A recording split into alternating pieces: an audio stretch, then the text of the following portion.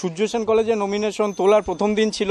কিন্তু নমিনেশন তুলতে যখন আমাদের সদস্যরা যায় ওই কলেজের ছাত্র যারা প্রত্যেকেই, তৃণমূলের বহিরাগত গুন্ডারা ব্যাপকভাবে মারধর করে, বাটাম দিয়ে মারে, তাদেরকে ইট দিয়ে আঘাত করা হয়, যেই কারণে এবং আমাদেরকে ভাগিয়ে দেওয়া হয় এবং কলেজে ঢুকলে পারে খুন করার হুমকি দেওয়া হয়। এসএফআইয়ের কোনো কলেজে কোনো সংগঠন নেই, তারা ভোটে দাঁড় করাতে তাদের সাথে ছাত্রছাত্রী নেই, সেটা আবার প্রমাণিত হয়েছে। আর আজকে এখানে সুন্দরভাবে এই নমিনেশন প্রক্রিয়া চলছে। তৃণমূল ছাত্র পরিষদ সব সিটে নমিনেশন ফাইল করেছে এবং আগামীতে দায়ী জেলার সব কলেজেই তৃণমূল ছাত্র পরিষদ জমে